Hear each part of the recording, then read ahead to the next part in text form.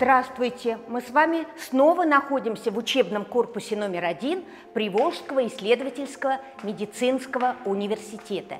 Сегодня мы с вами познакомимся с портретной галереей ученых-медиков, в разные годы работавших в нашем ВУЗе и внесшими достойный вклад в историю развития отечественной медицинской науки и здравоохранения.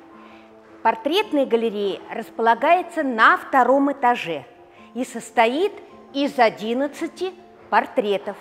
Первый портрет, на нем Петр Георгиевич Аврамов, доктор медицины – профессор, выпускник Санкт-Петербургской военно-медицинской академии, диплом лекаря с отличием.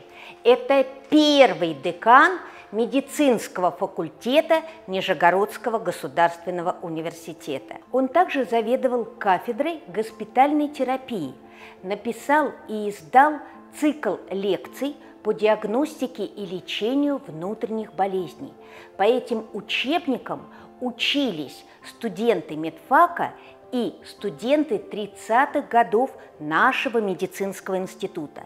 У меня в руках эти уникальные издания, которые написал профессор Аврамов. Портрет Петра Георгиевича Аврамова принадлежит кисти московского художника Исака Яковлевича Шермана и датирован 1937 годом, то есть этому портрету 86 лет. Из 11 представленных портретов 9 принадлежат кисти заслуженного художника России Дмитрия Сергеевича Макарова. Мы с вами стоим около портрета Николая Петровича Синицына. Он выпускник медицинского факультета Нижегородского государственного университета 1927 года, доктор медицинских наук, профессор, заслуженный деятель науки.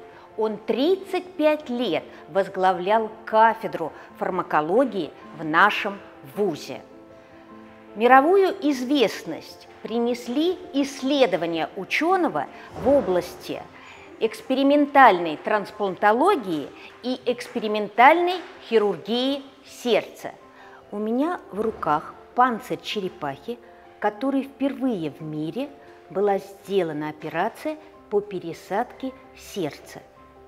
Операция прошла в Берлине, и немецкие коллеги видели через это пластмассовое окошечко конюлю, как бьется пересаженное сердце черепахи. В 1931 году в Нижегородском медицинском институте появился новый факультет охраны материнства и младенчества. Сейчас этот факультет известен как педиатрический. Он один из самых популярных факультетов у наших абитуриентов, поступающих Приволжский исследовательский медицинский университет. У меня в руках уникальный фотоальбом. Это первый выпуск педиатрического факультета. Первым деканом педиатрического факультета стал Федор Дмитриевич Агафонов, доктор медицинских наук, профессор, выпускник Императорского Казанского университета, диплом лекарь с отличием.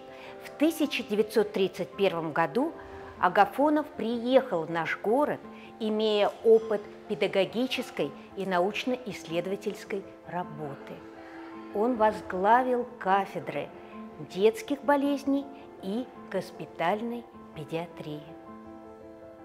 А это портрет Анатолия Ильича Кожевникова, доктора медицинских наук, профессора, заслуженного деятеля науки. Он выпускник медицинского факультета Первого Московского государственного университета. Он был первоклассным хирургом, обладал блестящей оперативной техникой, ему были подвластны многие области хирургии – он создал свою хирургическую научную школу и по праву считается основателем Нижегородской онкологической медицины. У меня в руках удивительный документ. Это свидетельство об окончании Кожевниковым вуза. Вы посмотрите, в каком он замечательном состоянии. Ректором был Андрей Януарьевич Вышинский, впоследствии прокурор Советского Союза, печально известный по судам сталинских репрессий. Николай Николаевич Блохин – удивительное явление, эрудированный врач, искусный хирург, опытный наставник молодого поколения хирургов выпускник нашего института 1934 года. Он защитил докторскую диссертацию по пластической хирургии. Эта диссертация была издана отдельной монографией под названием «Кожная пластика» и удостоена премии Бурденко. Борис Алексеевич Королев, легенда, академик сердца – он тоже выпускник нашего института 1934 года. Вся его профессиональная деятельность связана с нашим городом. Он возглавлял кафедру госпитальной хирургии, создал свою научную хирургическую школу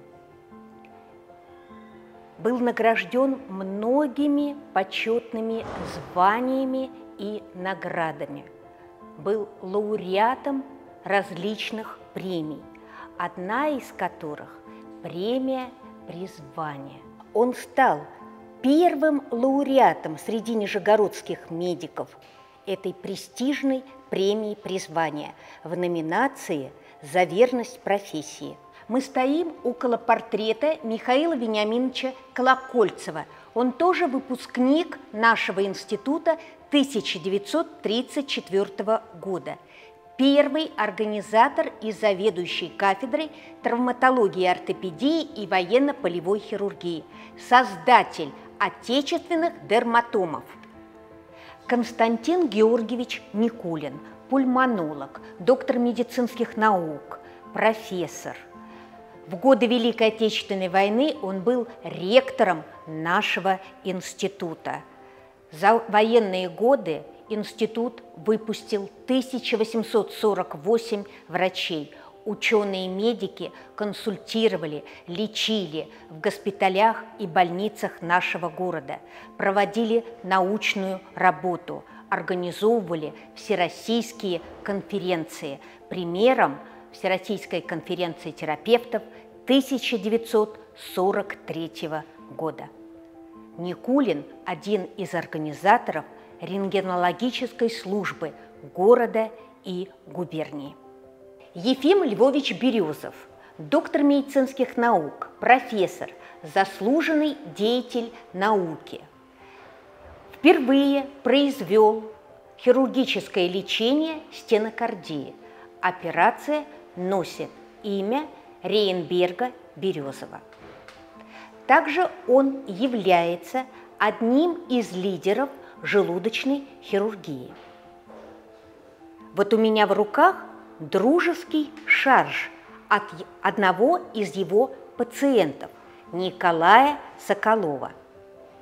Кукрыниксы – художники-графики Михаил Куприянов – Порфирий Крылов и Николай Соколов. Так вот, один из них был пациентом Ефима Львовича Березова. Вадим Габриелович Вагралик, доктор медицинских наук, профессор, заслуженный деятель науки. С 1947 года профессиональная деятельность связана с нашим городом и Горьковским медицинским институтом имени Сергея Мироновича Кирова. Он 42 года возглавлял кафедру госпитальной терапии, основоположник отечественной иглорефлексотерапии, создатель своей терапевтической научной школы. У меня в руках личный стетоскоп Вагралика с его инициалами. Из 11 портретов один фотокопия. Это Николай Николаевич Трапезников. Он выпускник нашего института 1952 года. Диплом с отличием. У меня в руках личное дело студента Николая Трапезникова. Вы только посмотрите, при вступлении в наш институт он сдал все экзамены на пятерки. С третьего курса он был сталинским стипендиатом, то есть в его зачетке нет ни одной четверки. И госэкзамен он сдал тоже на все пятерки. С 1952 года профессиональная деятельность Трапезникова связана с Москвой, но он не терял контактов со своими земляками. Он прожил яркую, достойную жизнь хирурга-онколога и замечательного человека. На этом наша экскурсия по портретной галерее подошла к концу. Благодарю вас за внимание и приглашаю в учебно-исторический центр Приволжского исследовательского медицинского университета. До встречи!